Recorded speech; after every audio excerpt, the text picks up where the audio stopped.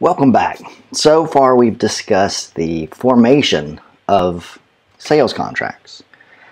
This is the first element of a contracting system to give us the requirements of a valid contract. Now we take up performance of a sales contract, performance and breach, which is a failure to perform.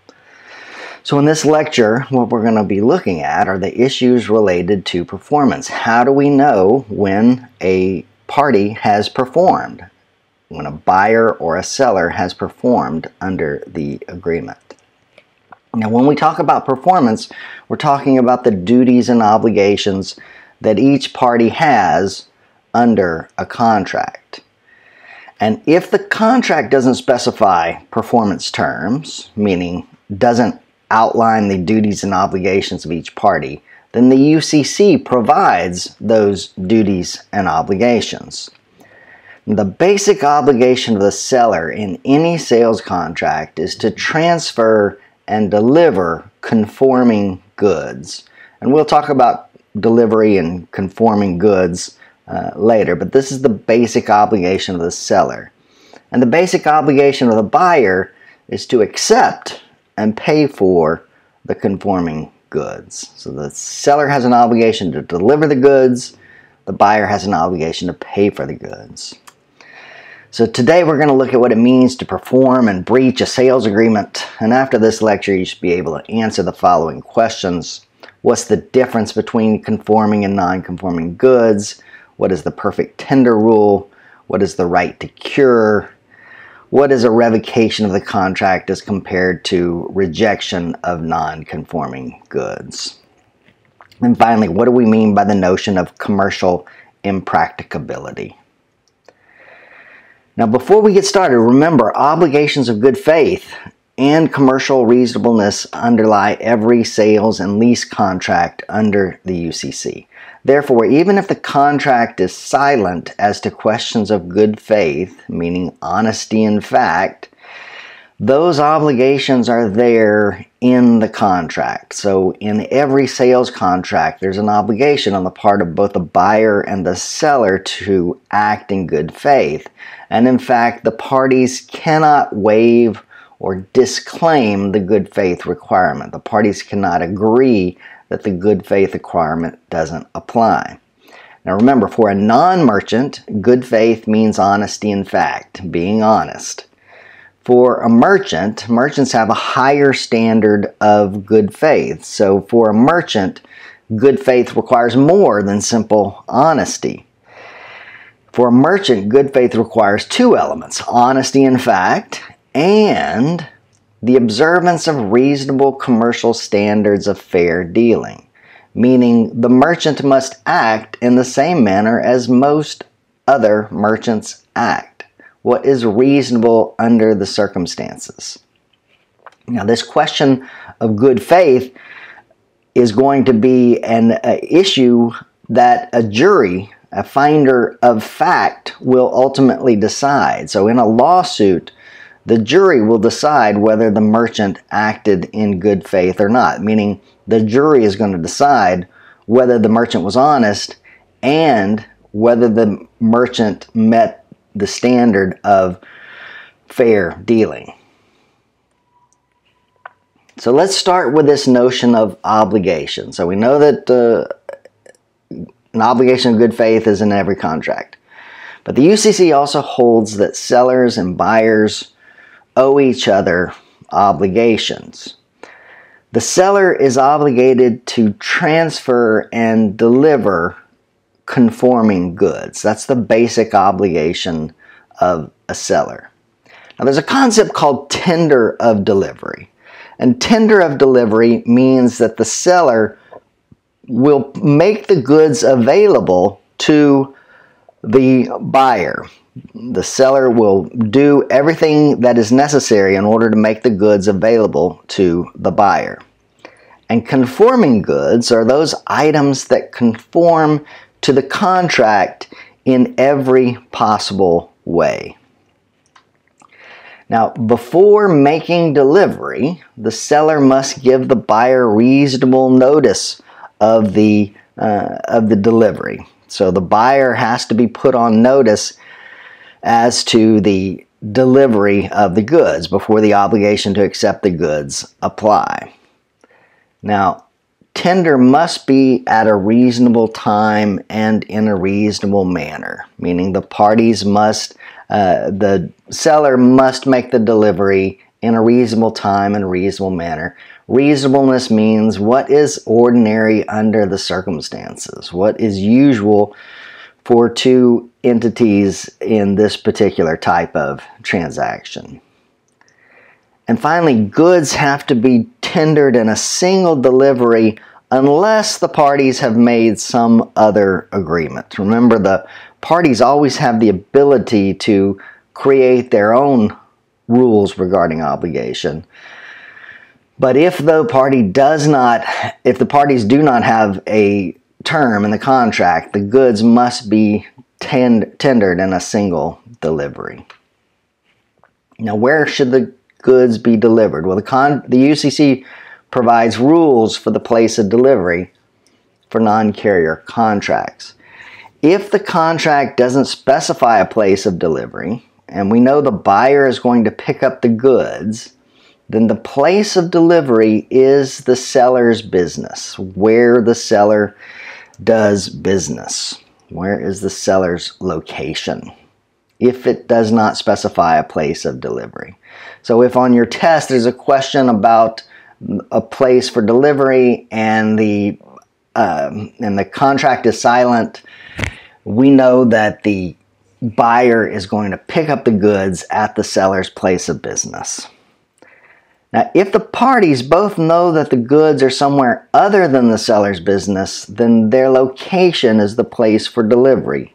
This would come up in case of the goods are being stored in a warehouse. If the buyer and the seller both know that the goods are available at the warehouse, then that warehouse is the place for delivery. Now, there's two kinds of contracts delivery contracts. Delivery via carrier. Remember, carrier is a is a third party, not the buyer or the seller, but an independent third party that's going to take the goods and transport them from the seller to the buyer. Now, a shipment contract requires the seller to ship goods by a carrier. And under a shipment contract, a seller must comply with the following. The seller must first of all put the goods into the hands of a carrier, must make arrangements, create an agreement for the transport of the goods, and to give to the buyer any documents necessary to get possession of the goods from the carrier. And finally, the seller must notify the buyer that shipment has been made. So, in order to comply with its obligation to deliver the goods, if the goods are being um, sent via a shipment contract, a seller has to place the goods into the hands of a carrier, contract for their transport, give the buyer any documents necessary to get possession of the goods from the carrier, and tell the buyer that the shipment has been made. Now, the other type of delivery contract involving a carrier is known as a destination contract. And a destination contract is a contract in which the seller agrees to deliver conforming goods to the buyer at a specific destination, a particular destination. So under a destination contract, in order to meet obligations of delivery as set forth in the UCC, the seller must tender the goods at a reasonable hour, keep the goods available for a reasonable period of time for the buyer to take possession, and obtain and promptly deliver any documents of title necessary for the buyer to take possession of goods from the carrier, and finally, promptly notify that the goods are available to take delivery. So, a destination contract. Remember, a destination contract is any contract involving a carrier in which the goods are being sent to a specific destination.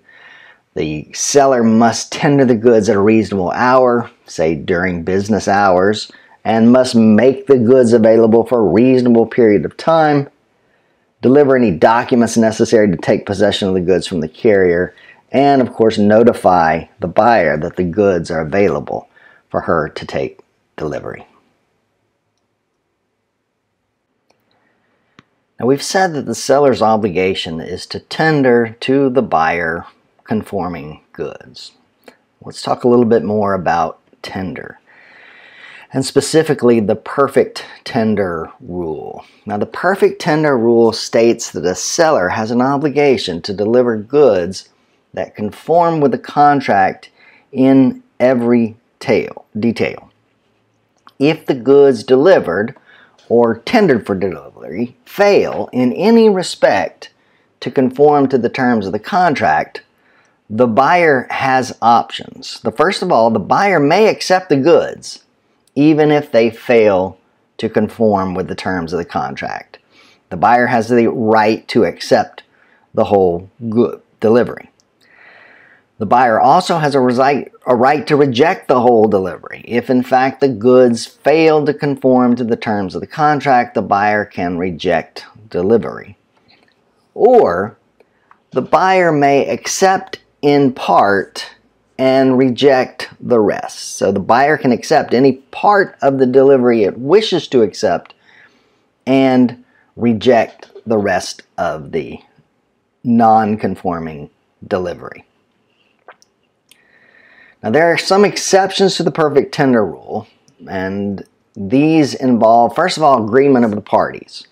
And we've already talked about this multiple times that the parties have a right to control performance and therefore the parties can include exceptions to the perfect tender rule in their contract. This is something that you can disclaim in a contract or modify.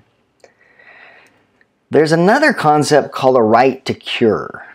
And the right to cure says that a seller that has delivered non-conforming goods may repair or adjust or replace those goods if the replacement occurs within the contract time for performance.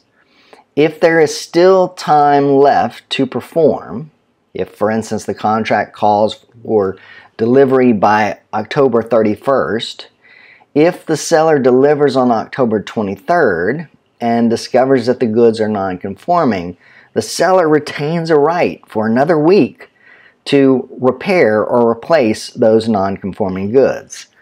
Now, of course, this cure is going to be at the um, is on the expense of the um, of the seller. So the contract, the cure can be made within the time for performance. First of all, and also remember the right to cure is going to be limited by the buyer's obligation to inform the seller or lessor of the defect. If the defect is not disclosed, the buyer cannot later assert the defect as a defense if in fact the defect is the one that the seller could have cured. Finally, substitution of carriers. If an agreed manner of delivery becomes impracticable or unavailable, a substitute may be sufficient. If I arrange to ship the goods by FedEx, and for some reason maybe FedEx drivers go on strike, even if I don't meet those terms, if I deliver it by UPS, if that is a reasonable substitute, I have a right to do so even if it does not conform with the carrier. Now this must be a commercially reasonable substitute and the seller is, all, is or, or normally responsible for any additional shipping cost. Again, unless the contract states otherwise. Now, an installment contract requires or authorizes delivery in two or more lots. Whenever we talk about an installment contract, we're talking about a contract that's going to be performed in part and then in part again. Two or more deliveries. Now, a buyer or lessee can reject an installment only if a nonconformity conformity substantially impairs the value of the installment and cannot be cured. A buyer can reject the entire contract only when the nonconformity substantially impairs the value of the entire contract. Now, the perfect tender rule also does not apply when an unforeseen occurrence makes performance commercially impracticable. Occurrences that are unforeseen by either party, that were not contemplated by either party when a contract was made, may make performance commercially impracticable. Now, commercial impracticability only arises when the parties had no reason to anticipate that the event would occur at the time the contract was made. So there must be an element of non foreseeability. Impracticability is not impossibility, it's simply an ex- requires extreme difficulty in order to um, to uh, obtain the uh, required benefit. Now, these events, as I said, must have been unforeseen by either party at the time of contracting. In the cases of commercial impracticability, delay in delivery or non delivery in whole or in part may not be a breach of the contract. This is another exception to the perfect tender rule. Finally, destruction of the goods before the risk of loss has passed may excuse the parties from performance if the goods are destroyed prior to the passage of risk of loss the party may be excused from performance meaning the seller may be excused from selling the goods and the buyer excused from paying for the goods now in this case destruction of the goods must be an unexpected event that did not happen through the fault of either party say the warehouse in which they are goods are stored is uh, destroyed by a lightning strike, causes a fire.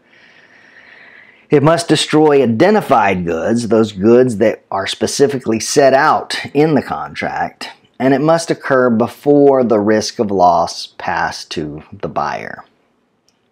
In those cases, destruction of the goods may excuse the parties from performance under the contract.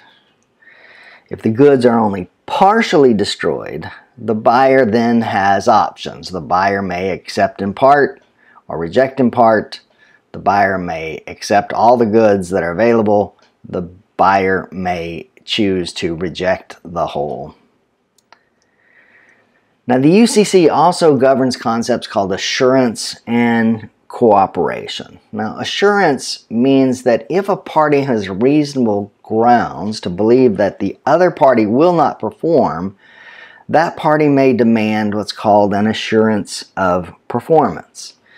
So, if you are a seller and you discover that the buyer is insolvent and unlikely to be able to pay for the goods that you are selling, prior to delivering the goods, you may demand what's called an assurance of performance, some guarantee that the party will perform. Similarly, if you're a buyer and you believe that the seller will not be able to deliver the goods, conforming goods, you may demand an assurance of performance. And if that assurance is not made, then in fact, you may be relieved of your obligation to perform under the contract, whether you are the seller or the buyer. If performance requires the co- cooperation of the other party, a failure to cooperate relieves the obligation to perform. If the sale cannot be completed without cooperation between the buyer and the seller, the party that fails to cooperate may uh, release the other party of its obligation to perform. So, those are all the obligations of the seller that fall within its obligation of to deliver conforming goods. Now the basic obligation of the buyer is to accept and pay for those conforming goods. Now there are rules regarding acceptance or rejection of the goods. Before delivery or acceptance, the buyer has a right to inspect the goods in a reasonable manner. Back when we were talking about what are the expectations of the buyer and the seller, we know that the buyer wants to inspect the goods before paying for the goods. The buyer wants to confirm that the goods conform to the terms of the contract. And this right to inspect the goods is absolute, meaning a buyer is guaranteed to right to inspect the goods. Now, how long does the buyer have in order to um, inspect the goods? That's going to be based on the, the concept of reasonableness. What's reasonable under the circumstances? Nevertheless, the buyer has a right to inspect the goods before accepting them, before taking delivery.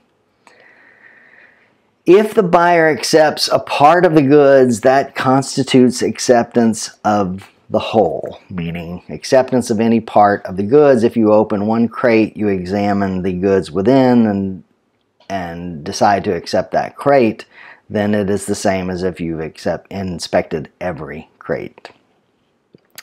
Now, acceptance of the goods occurs when, first of all, the buyer agrees to do so, express acceptance, the buyer says, I accept the goods, or fails to make an effective rejection, that if in fact the uh, buyer fails to reject the goods as required by the terms of the contract or by the UCC, then in fact the buyer is deemed to have accepted the goods.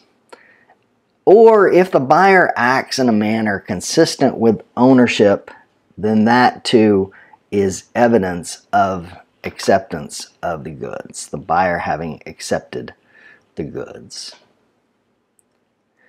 A buyer can accept only those goods that conform to the contract and reject the rest.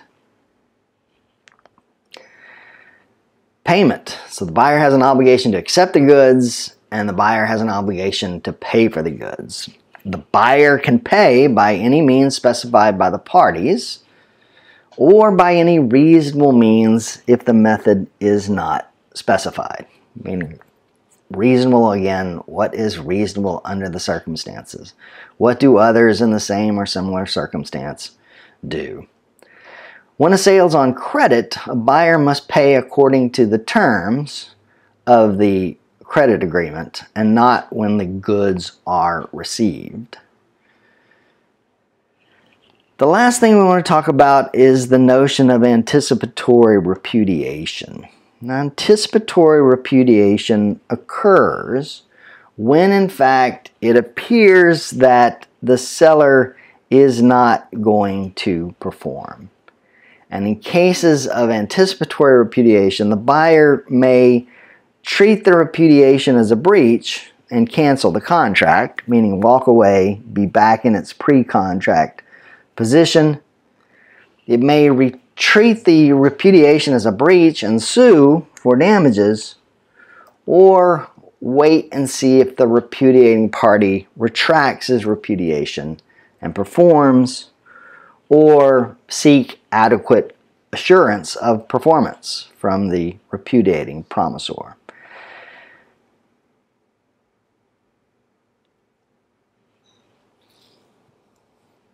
In any case, the non-repudiating promisee may suspend its performance. So in conclusion, what did we learn today? Obligations of good faith and commercial reasonableness underlie every sales and lease contract under the UCC. The basic obligation of the seller is to transfer and deliver conforming goods. The basic obligation of the buyer is to accept and pay for conforming goods. And that's all. Thanks for listening.